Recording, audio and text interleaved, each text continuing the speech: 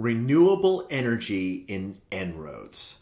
We're already counting on a lot of growth of wind and solar in the baseline scenario, so it makes a big difference keeping coal and gas in the ground, reducing greenhouse gas emissions, reducing future temperature.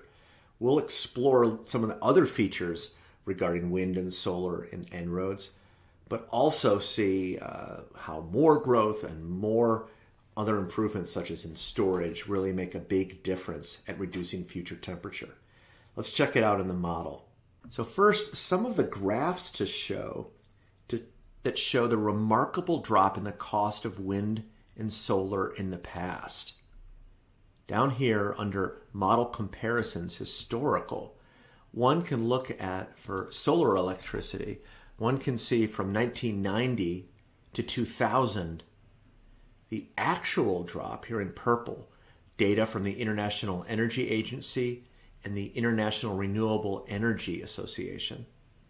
See that purple line, and then from Lazard and more data going down here to 2019. And then the fit of the En-ROADS baseline, because the En-ROADS starts in 1990, and then the economies of scale loops there's a whole nother training on this. Bring that cost down, down, down, down, down.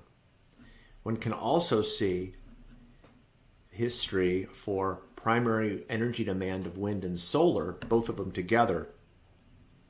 The growth of wind in the 1990s through the 2010s, the growth of solar, particularly in the 2010s, compared against history.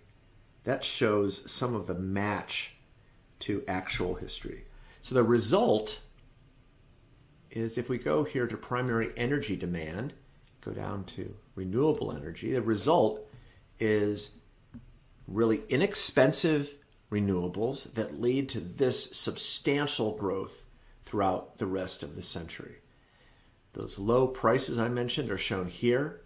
You saw them falling in green, but this continued low prices out through the end of the century for wind and solar, particularly relative to coal and gas in brown and in blue, are the main reasons why we see this growth in renewable energy primary demand going into the future.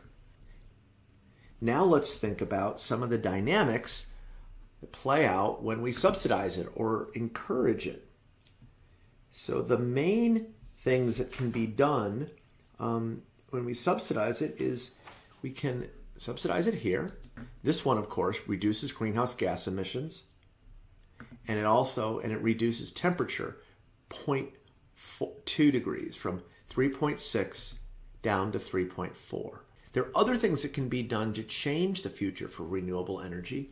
I'm going to go back to the global primary energy demand for renewables.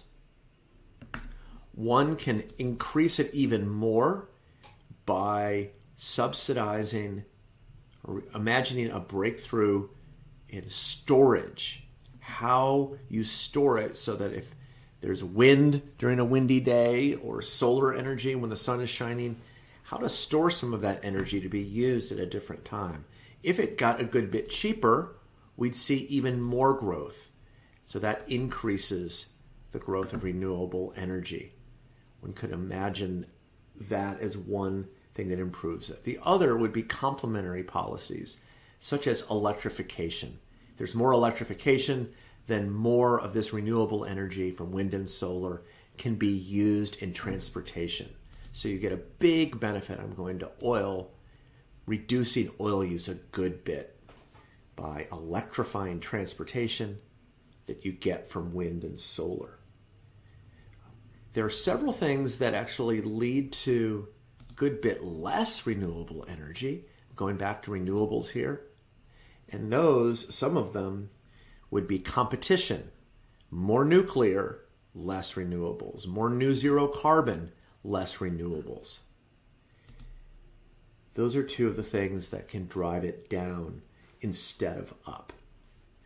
Overall, however, we're already counting on a good bit of renewables, significant growth through the end of the century, keeping coal and gas in the ground, reducing emissions. If we re- increase them more, then we get even more of a contribution.